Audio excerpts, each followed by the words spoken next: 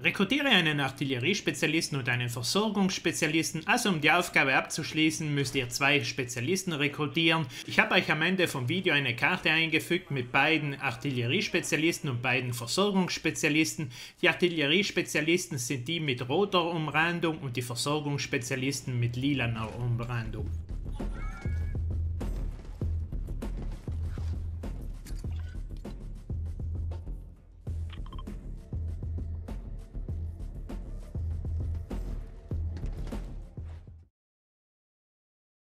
Sammle Goldbarren aus Tresoren oder Kassen, also geht am besten hier ins Menü nach unten, unter dem Reiter von Epic wählt ihr hier Gruppenkeile aus, startet dann das Match Gruppenkeile. In Gruppenkeile habt ihr den Vorteil, dass ihr da die ganzen Kassen findet, denn in Gruppenkeile spawnen immer die ganzen Kassen. Geht dann zum Beispiel nach Reckless Railways hin, öffnet insgesamt vier Kassen, denn für die Aufgabe müsst ihr 100 Goldbarren aus Kassen oder Safes sammeln, das wären also genau vier Kassen. Öffnet die vier Kassen und schon habt ihr die Aufgabe erledigt.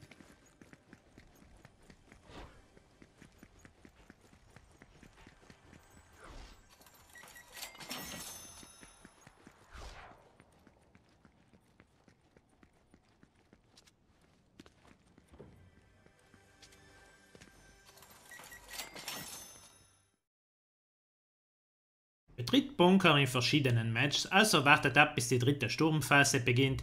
Ab der dritten Sturmphase werden euch die Bunker auf der Karte angezeigt, setzt euch dort eine Markierung, geht dann zum Bunker hin. Insgesamt müsst ihr für die Aufgabe in drei verschiedenen Matches ein Bunker besuchen, also betretet einfach den Bunker, wiederholt das Ganze in drei Matches und schon habt ihr die Aufgabe erledigt.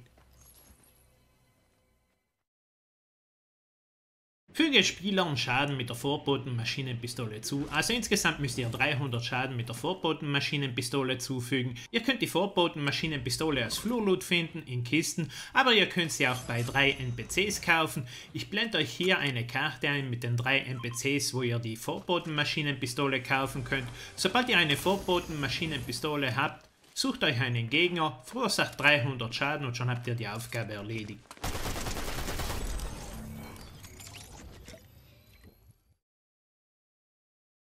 Erhalte Schilde innerhalb 30 Sekunden, nachdem du einen Spieler eliminiert hast, also besorgt euch Schildtränke, sucht danach Gegner, eliminiert einen Gegner, benutzt dann direkt die Schildtränke, um euer Schild wiederherzustellen und schon habt ihr die Aufgabe erledigt.